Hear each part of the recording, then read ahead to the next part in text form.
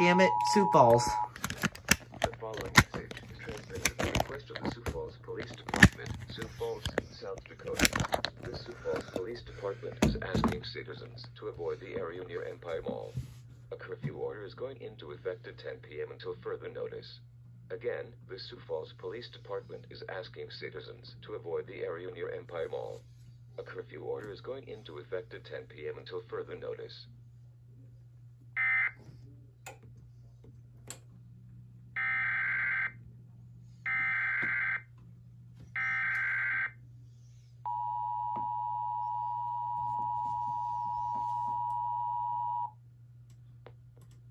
Following message is transmitted at the request of the Sioux Falls Police Department, Sioux Falls, South Dakota.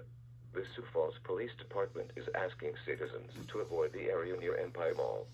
A curfew order is going into effect at 10 p.m. until further notice. Again, the Sioux Falls Police Department is asking citizens to avoid the area near Empire Mall. A curfew order is going into effect at 10 p.m. until further notice.